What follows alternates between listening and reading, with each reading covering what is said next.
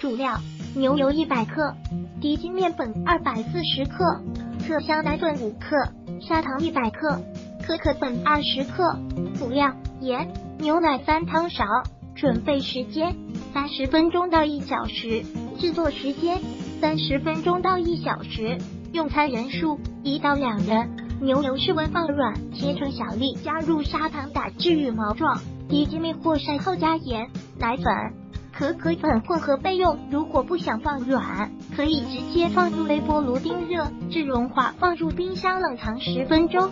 拿出来混合砂糖打至羽毛状，加入牛奶打均匀后，加入面粉搅拌均匀，醒十分钟。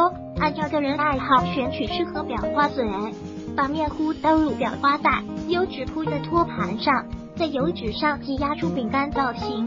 烤箱一百八十度预热十分钟，烤箱中层一百八十度烤十二到十五分钟即可。